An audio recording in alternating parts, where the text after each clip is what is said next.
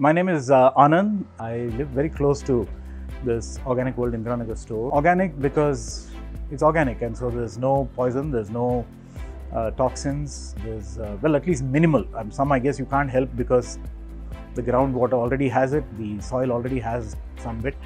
But uh, growing stuff without uh, you know artificial stimulants and all of that is is really healthy and uh, i guess that's probably the main reason the second thing why here? Because as i told you it's extremely close to home. It's very convenient for me.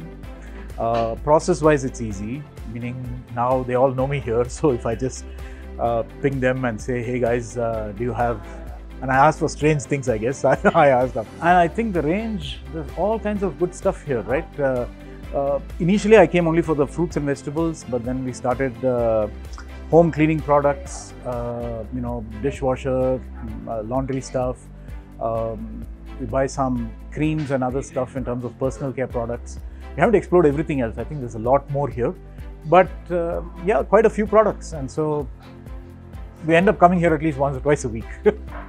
Favorite products? Well, fruits and vegetables for sure. Uh, a lot of the I mean, actually, all our provisions we buy from here. So, yes, provisions.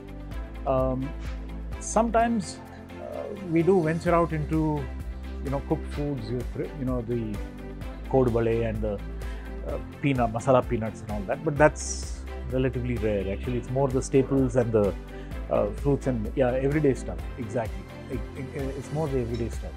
I say, hey, I want to order tomatoes, right? But I want only red ones. Can you please pick only red ones? I don't want unripe ones because we need to use all of them right now. I'm going to make something, I need all red. Yeah, sure, sure. They'll say, and then they'll send me, you know, a whole bunch of red tomatoes. So, like that, I think they also have got to know me better. I've also got to know them better. And I'm guessing that's true with many customers, right, who, who keep uh, coming back uh, and repeat customers. It's always good to uh, get to understand them, get to know their preferences and choices.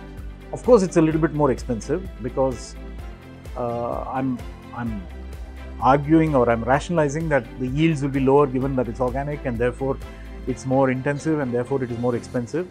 Um, and, and so I'm happy to pay that price. But I think the net net price in terms of the world and my health is lower buying organic than if I were to buy non organic. Uh, a lot of this asks for mindset change. A lot of this asks for learning new things about what I eat and what I'm engaging with, which nobody tells you, right? The other the opposite camp, the non-organic camp, doesn't educate you about anything. They just, you know, brainwash. So it's important. Well, brainwash may be a harsh word, but you know what I mean. They, they, they don't they don't tell you everything, and what's not said is sometimes far more important than what's said. So here, I think uh, the the onus is on you guys to uh, inform people a lot more. Now, uh, definitely, life change events like like having a new person at home is an important one.